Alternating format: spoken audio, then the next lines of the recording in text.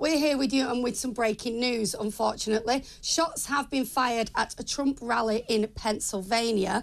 It appears that Donald Trump has ducked down uh, behind a screen, and when he's emerged, there is blood on his ear. We don't know if he's been shot. We just, that's all we can tell you.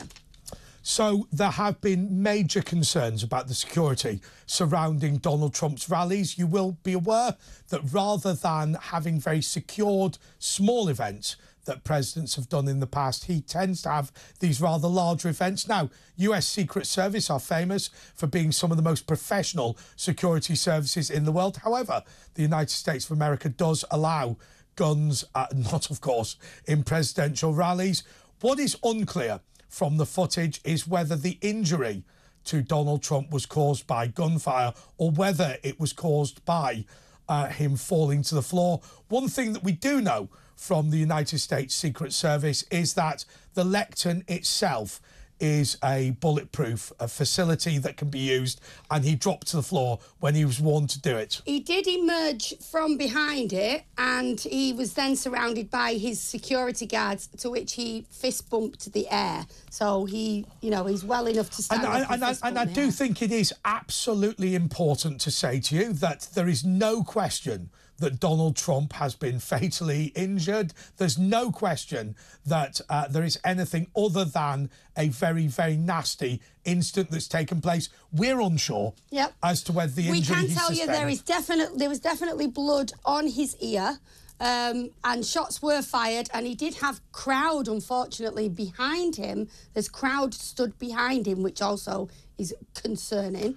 I'll- I'll also say that we have seen footage in talk of him being put into his motorcade. Also, to be fair, he was stood up. Uh, he fist bumped, as you said. Yep.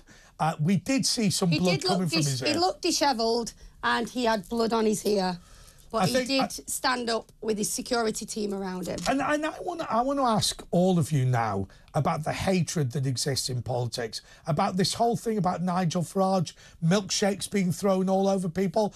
You know, we don't think that Donald Trump is going to die tonight, but what we do think is that the behaviour of people towards politicians is unacceptable. You know, if you come face to face with a politician that you disagree with, just argue with them, say you don't agree with them. I have to say, this incident is a reminder, Danielle, as the Nigel Farage makeup ins- uh, ma- milkshake incident is a reminder that some people don't want to do democracy. They want to do violence. It's a shame because I think I, I do feel that people are being pushed to the limit. And I think when people feel that they're not being represented or heard, then you will find that people will make extreme decisions, which is obviously outrageous. Um, but yeah, it's not. Um, interestingly enough, obviously, this is politics, and we do happen to have someone in politics in the studio with us this evening. Um, I'm just going to throw to you, Finn. He's been. He's. I'm, So, I'm sorry, Finn Dan, Danielle. Adams, Danielle, if you is- look, Danielle, if. Danielle, if you look at that footage, Oh. I'm sure he's been hit. You don't know. you He's okay. He's okay, No, but you I'm can't sure. say that. We can say for sure. Well, this is well. Uh, apologies. say that he's been shot at. apolo- We can apologies. he has blood this is my ear. opinion. This is my opinion. But it's it's very clear to me that he's been hit.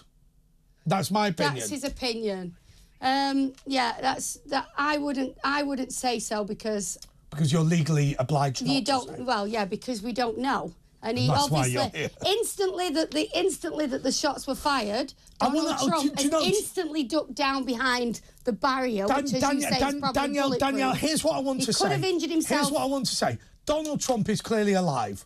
Donald Trump has got into his station Look, wagon. as shots were No, no, fired, he he Yeah, did put his forget hand all that. to his forget, ear. Forget, forget all that. Donald Trump is clearly alive. Donald Trump is clearly in his station wagon. But here's the phone call and discussion that I want to have with you. Why have we become so hate filled? Why is politics? You know, when I was a little kid, all we would do is argue over a dinner table. I honestly Guns believe- and bloody throwing Yeah, but. I honestly believe that if people feel like they're not being heard, then Well, you can't justify unfortunately. No, I'm not justifying it. I'm just saying you're asking me why. And I think it's because people must feel like they're not being heard or represented. Okay, so and that sends people to maybe do stupid things. Okay, so you've heard this. Oh three four four four nine nine one thousand. Why I'm glad we don't live in a country where you can have a gun. Well, no, it's Just it- saying. But that's not what you said, Danielle. What you said was. In, in in in these circumstances of a lack of democracy, people will turn to violence. Now I understand why you've said that, and I think it's a reasonable comment to make. But how can we return democracy to these countries? How can we ensure that we don't end up in a situation where violence takes place? And and do you know do you know something about this? Doesn't this link back to what we were talking about at the beginning about the fact that government is so distant from ordinary people, mm. where a minor infraction ends up that you have your life destroyed. You know, what are we going to find out about this gunman? We're going to find out that he was part of a group of people who feel disenfranchised.